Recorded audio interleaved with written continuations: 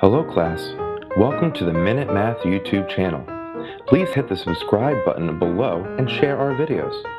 You can also find great math content and links to all of our videos at www.minutemathtutor.com. Alright now, enjoy the lesson.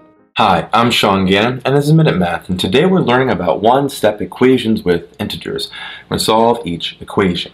If I was given this equation, x minus 11 equals 16, alright? I want to get x by itself. We have subtract 11 right next to it. To get x by itself, I have to do the opposite of subtraction, addition.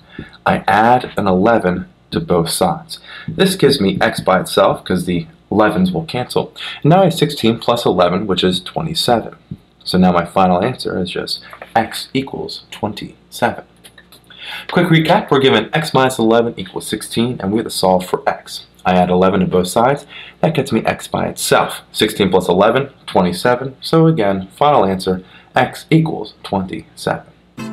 Hi, I'm Sean Gannon, the creator of Minute Math. And if you like this video, please hit the like button that's right there. If you have a mathematical question, just add it to the comment section below. And lastly, if you want to see more videos just like this one, hit subscribe. It's right there. But as always, thanks for watching.